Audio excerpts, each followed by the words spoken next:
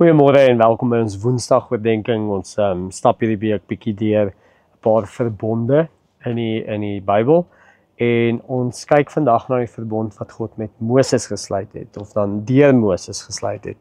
Um die woord verbond is natuurlik 'n verbintenis of 'n verhouding, 'n kontrak wat God met ons aangaan.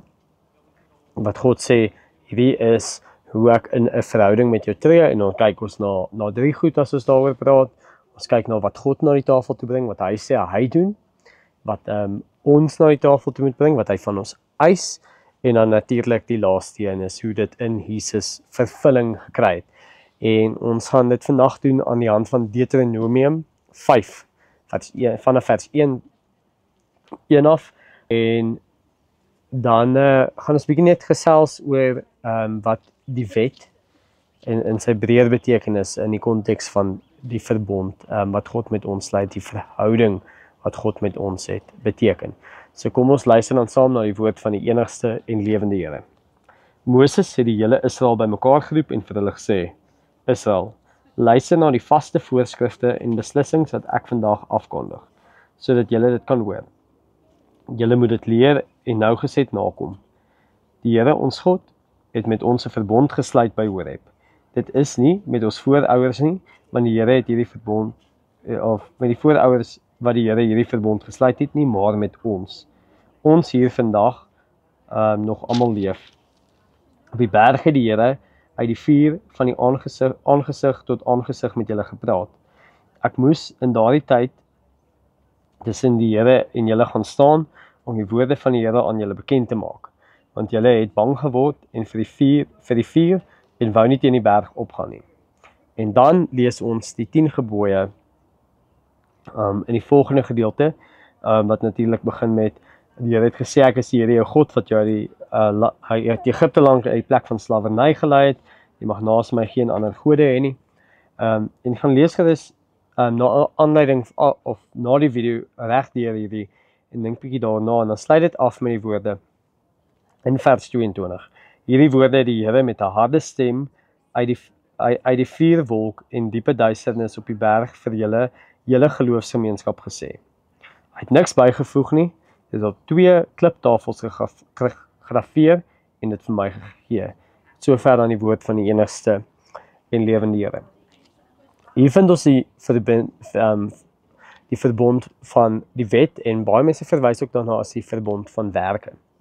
En die rede daarvoor is dat ons in Deuteronomium 8 lees ons ehm um, die wat wat God na die tafel toe bring met hierdie verbond en dit is elke gebod wat ek, gebod wat ek vandag vir julle voorskryf moet julle nou geset nakom sodat julle kan leef en meer word in die land wat die Here vir julle met 'n eed aan julle beloof het julle voorvaders beloof het en dit in besit geneem het. Met ander woorde God kom na ons toe en sê hierdie is my voorskrifte en die rede hoekom ek gee want dit is riglyne wat vir julle lewe sal gee.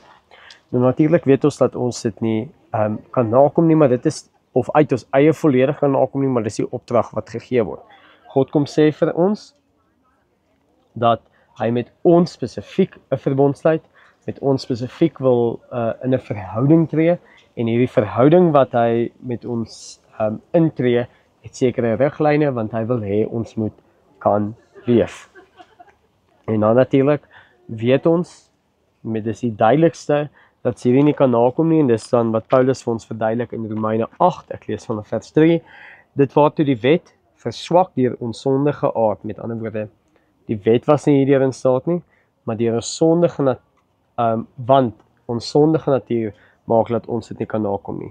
Dit waartoe die wet verswak deur die son ons sondige aard nie in staat was nie, het God gedoen deur sy eie seun van wie die sonde in die gestalte van 'n sondige mens te stuur het hy die sonde in die mens veroordeel sodat die vereiste van die wet in ons vervul kon word wat nie volgens ons sondige aard leef nie maar volgens die gees.